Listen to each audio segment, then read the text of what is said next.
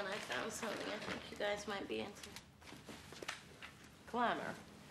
Throwing a glamour, an illusion so real as to fool an onlooker, is one of the oldest forms of magic. Bet you I could do that.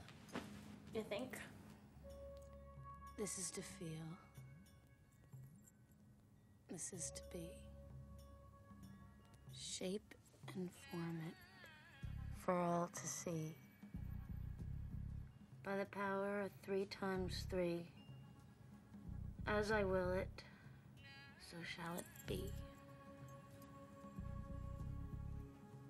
What? Plaza Brown. Oh. They're usually green. Oh. You can do that with contacts. Yeah, but it's good. I mean, it suits you. Subtle, but good. You want something bigger? I want bigger. Bigger. Bigger! Let's concentrate. Come on.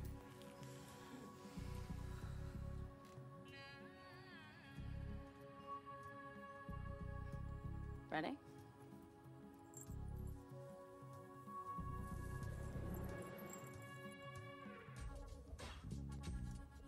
Ah. wow! Are you impressed? I'm impressed! you look like Loni You want Anderson. that too? Yeah. It's real! and so much simpler than going to a salon. Yeah, really shitty salon. Yeah, you That's try it. amazing. Wait, wait, wait, wait, wait, wait, watch.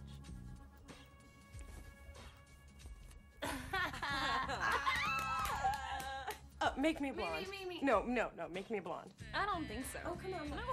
Hey, do something, do something to me. Do something to me. What do you want?